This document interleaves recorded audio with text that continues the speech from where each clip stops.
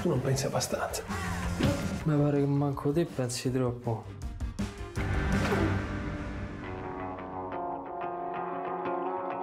È la prima volta che mi ripiace questo lavoro. Una domanda per Leonardo D'Agostini al tuo primo lungometraggio, un film che parla di un campione di calcio, però un romanzo di formazione che è destinato anche a chi non ama il calcio. Era questo il tuo obiettivo primario? Sì, devo dire sì, nel senso che mm, l'idea è quello di, di fare un, un tipo di racconto di un, un cinema popolare, popolare nel senso diciamo buono e ampio, un film che, ripeto questa frase che diciamo da questa mattina, ma a cui crediamo molto è di fare un tipo di film noi, di cui noi saremo i primi spettatori per questione di gusto, per questione di il campione è esattamente questo, cioè eh, ci piaceva e mi piaceva molto l'idea di questi due personaggi. Uno, il calciatore è sempre, eh, come dire, bigger than life, cioè uno che uh, a vent'anni ha tutto, può fare tutto. E buttare nella vita di questo ragazzino un po' viziato, un po' ribelle, a cercare di dargli un senso, una direzione, uno che invece sta proprio dall'altra parte, uno che della vita, insomma, in qualche modo, dalla vita non si aspetta più molto e farli convivere in questo mondo che è bizzarro che è, che è quello del, della Serie A, del calcio, che è fatto di milioni di, di insomma, che conosciamo tutti bene. Una domanda per i produttori. Sono tanti film dedicati al mondo dello sport, soprattutto americani, mi viene in mente ogni maledetta domenica. Mm, per questo film avete avuto qualche riferimento in particolare? Siete ispirati a qualcuno di questi film?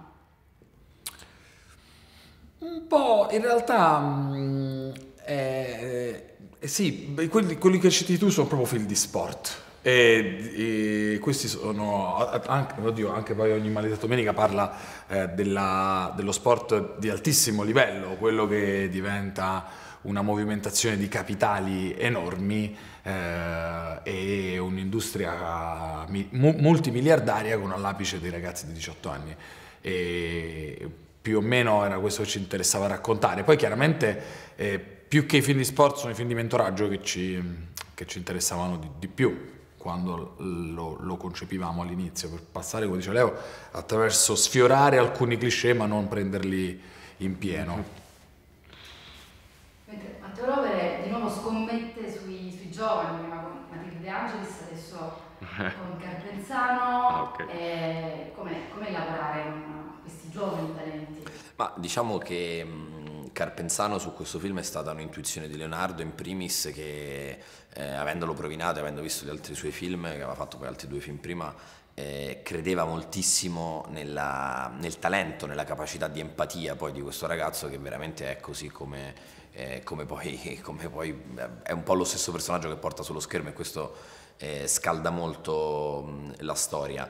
Diciamo che eh, noi, io cerco di costruire eh, insieme a Sidney un cinema eh, fatto no, sicuramente di opere prime come sono state poi le nostre in passato, però fatto anche di storie innovative, al di là dell'età di ognuno, no? abbiamo 20 anni, 30 anni, 40 anni, 50 anni, al di là della nostra età, noi cerchiamo storie interessanti ed innovative. Spesso e volentieri queste storie arrivano da ragazzi esordienti all'opera prima, altre volte non è così e il tentativo è quello di evolvere un po' l'editorialità in Italia, che se no rischia di, di, essere un po' ripetitiva. In un momento di crisi, questa concatenazione no, fra crisi e povertà, un po' di, di, di insomma, poca varietà, eh, secondo me, secondo noi rischia molto di deprimere una cosa fondamentale per la nostra cultura che è la sala cinematografica, che è il luogo dove poi ha senso eh, fruire di questi film e non bisogna però no, scoraggiarsi quindi bisogna credere, come fanno poi i protagonisti di questo film, bisogna credere eh, nei propri sogni, cercare di essere ambiziosi, cercare di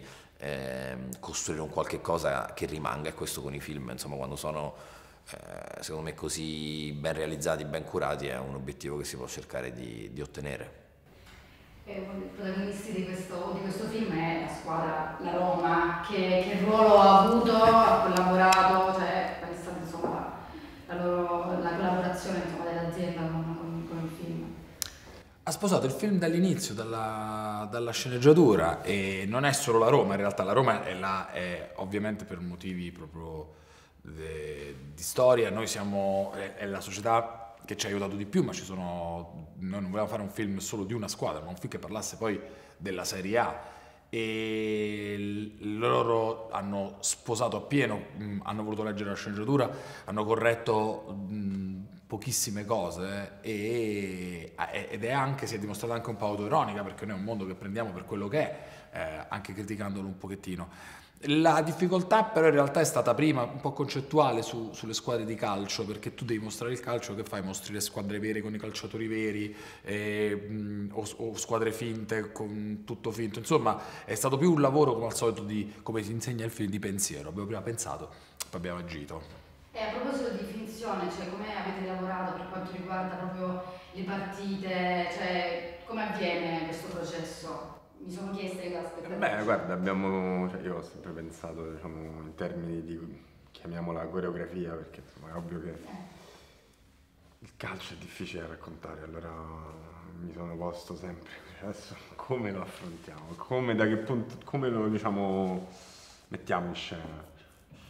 E quindi insomma un po' alla volta abbiamo iniziato a ragionarci, c'è stato molto molto molto d'aiuto uh, un'altra squadra che diciamo la Roma ha dato il contenitore, il contenuto in particolare della sequenza principale è il Pisa Calcio che comunque è una squadra importante, una società importante di Serie C che ci ha dato una che interpreta la Roma. che interpreta la Roma e la Sandoria nella, nella scena diciamo, principale e anche in altri momenti e devo dire hanno fatto un grandissimo lavoro con noi, abbiamo lavorato alla costruzione di quelle coreografie proprio come se fossero delle coreografie, era molto difficile, anche perché poi questi sono calciatori professionisti e quindi hanno un, quindi dei programmi molto stretti, è pure difficile beccare il momento in cui dici ecco adesso ci mettiamo e facciamo questa te la spiego, andiamo, facciamo.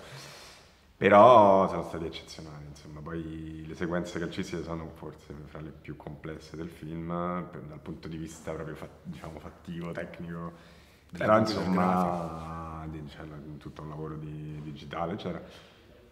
Però è stato anche uno dei più soddisfacenti. Dream,